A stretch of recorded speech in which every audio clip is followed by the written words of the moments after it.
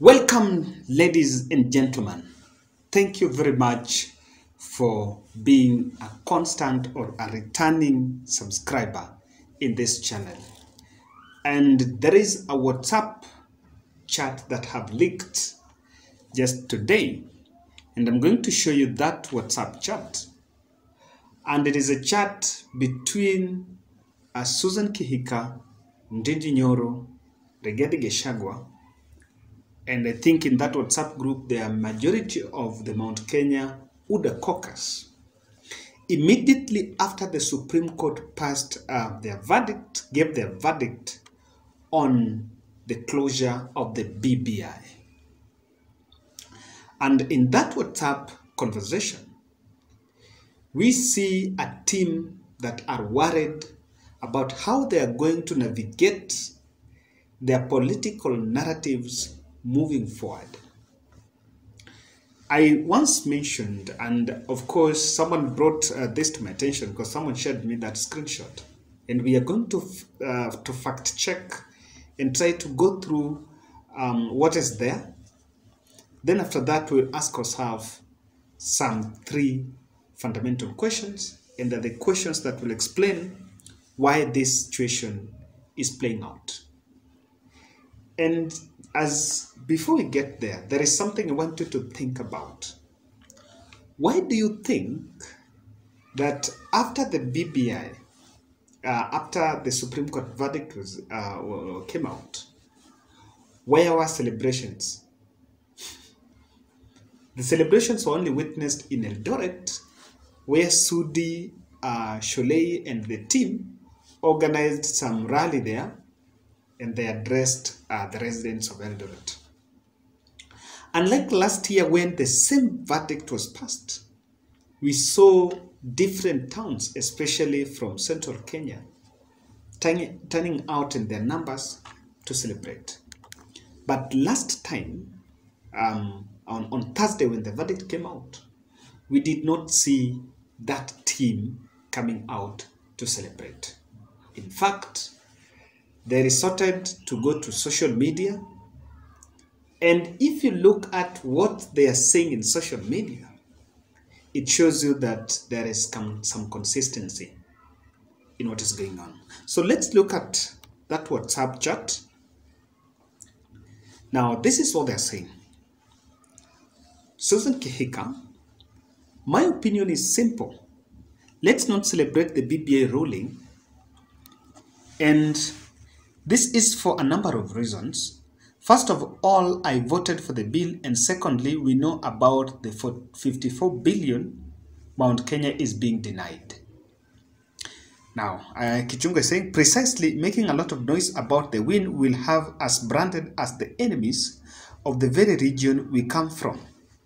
Then Ndindi was saying, My guys are working on how we can mitigate the 54 billion loss issue. They hint that the Doyen's 100 billion promised to the hustlers could be a practical starting point. Then Rigathi said, Let's leave the public celebration to the Doyen and Musalia and Weta. Those guys can rub it on the Azimio's face.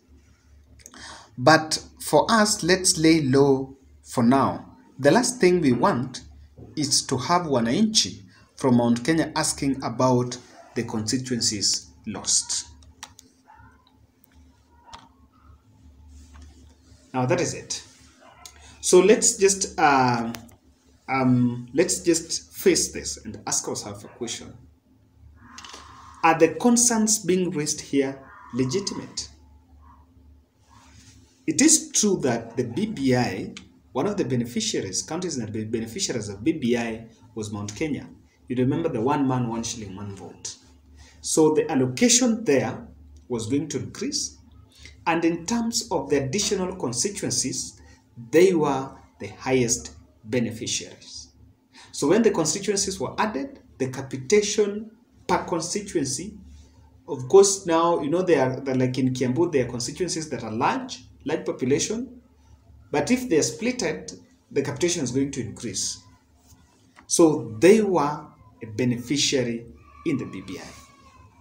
So that is the question I want us to focus. are what they're asking legitimate? And if you want to know that it is legitimate, if you look at Anne Waiguru Facebook page, she mentioned after the BBI that there were very good fruits in BBI that Central Kenya um, were to get, and for so it was time for introspecting.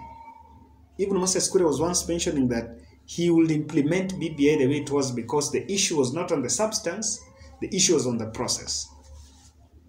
So they are in argument that something is going on. Now, one way I wanted to fact check whether this is what is running in their minds, I tried to look at how they reacted to the BBI scenario.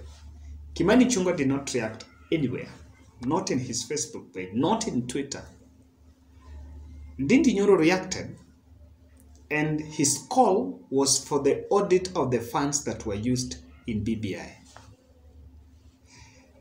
Um, Rigathi Gachagua reacted. He was also calling for the funds, audit of the funds that were used in BBI. That was the rallying, the rallying call when even Weta and um, and and Mudavadi were making when when when Weta Mudavadi made public uh, the statement.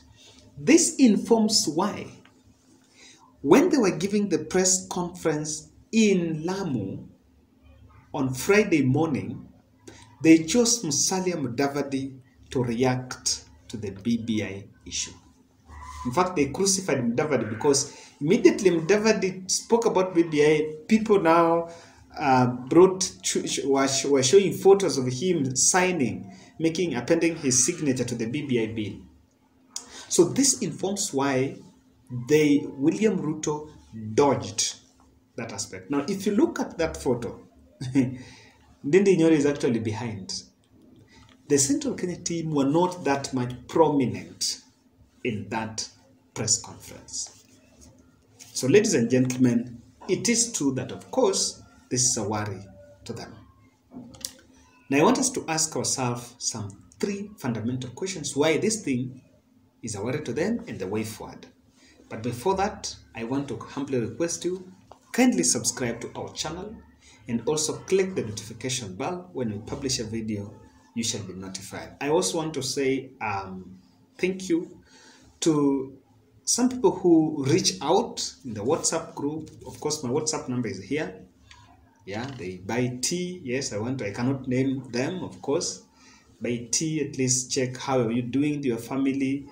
Yeah i think some of you have known that i have a soft spot for family so check out we are human beings i want to say thank you very much. I can't respond sometimes to all the messages but i think i see nanasema nasema asanteni sana. Um, this work is there is that bit of that negative energy that some people inject but at the end of the day we need to move in? Question number one.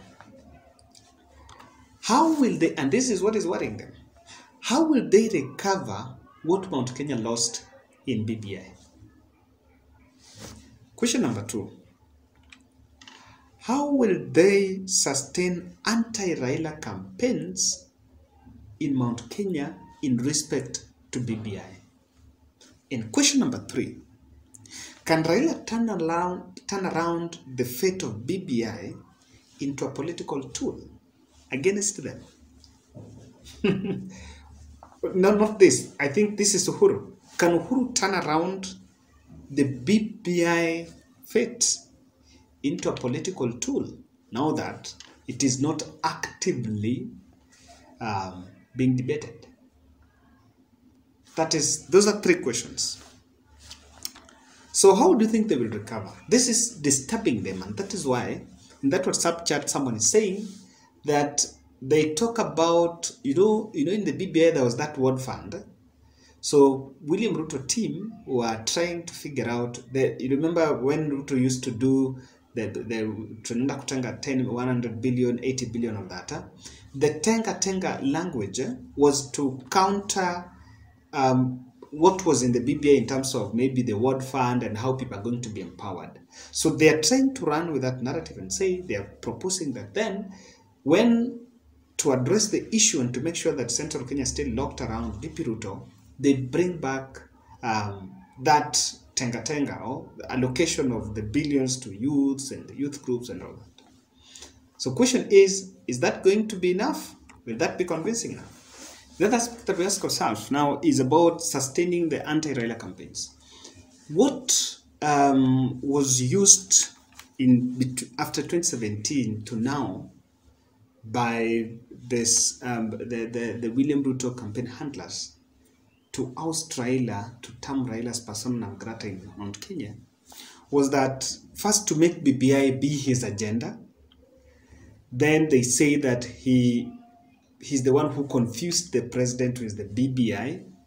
So he wants to create positions. They want, they want to come up together to create those positions. And so he's not in the interest of the people, but he's about creating positions. So now that that BBI is not there, are they what are they going to use alternatively to demonize Raila against Uhuru? Because now Uhuru have come out publicly to mention that he's endorsing Raila Odinga. So when BBI could have been there, that that was their tool. In fact, they demonized Raila the whole year with the whole BBI thing. That it was for the dynasties, it was for Raila Odinga and all that. So their worry now is how they are going to maintain anti-Raila campaigns in central Kenya. Because that brings me to number three. How Uhuru can turn around the BBI fight. The, the two aspects. The issue of the prime minister was there. But then, now that BBI is not there, and, and of course for the central Kenya, the issue of the prime minister, they didn't welcome it. But there is something that they welcomed there on the additional constituencies because they were standing to benefit. And the president mentioned about this and also the issue of capitation, county capitation, or rather the revenue sharing formula. So, if Uhuru goes and says that, look here, Raila is going to take care of the BBI, But Raila is going to take care of that, will the central Kenya trust Uhuru? Without they saying. And this is why I feel like the president, and I'm waiting for the president is supposed to go to central Kenya. I think uh, we were told, uh, we actually captured on Monday that um, CS was traveling there in central Kenya to just oversee this project so that when president makes a round, makes a tour, we'll have something to tell the people. We're trying to figure out how this will work out. Then lastly, this is a question. Do you think Raila should carry the proceeds of BBI as he moves forward with the campaigns? Very legitimate question. Should he carry? Bernard, I want you to answer me. Should he talk about the youth fund? Should he talk about the youth commission? Should he talk about the tax holiday? Should he go to Central Kenya and tell them about the one man, one shilling, one vote? Is it selling?